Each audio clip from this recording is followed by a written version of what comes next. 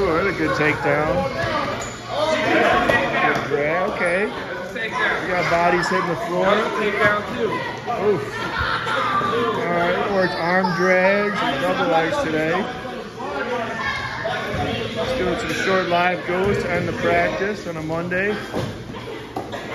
Great room. Monday in the middle of the summer. You can't beat it. All these kids, all this energy. Milwaukee Wrestling Academy. Look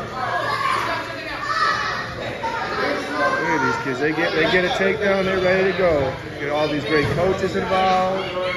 First day kids, kids that have been to state, all types of stuff. Nice head stuff. Got some good action going on.